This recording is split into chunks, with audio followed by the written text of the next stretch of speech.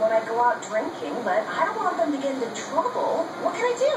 I've petitioned Congress to outlaw everything that isn't suitable for children, but they're not listening. Try the Vindication Angel Curse Buster BC.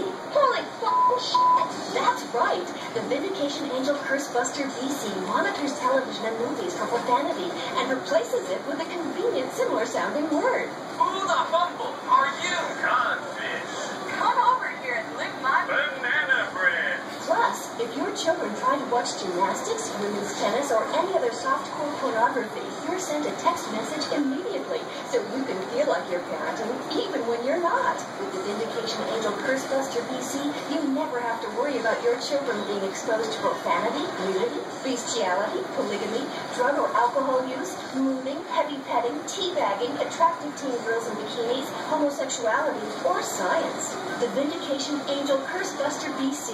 It's time to start embedded in reality. It's a dark, cyber future in Tokyo, 2000.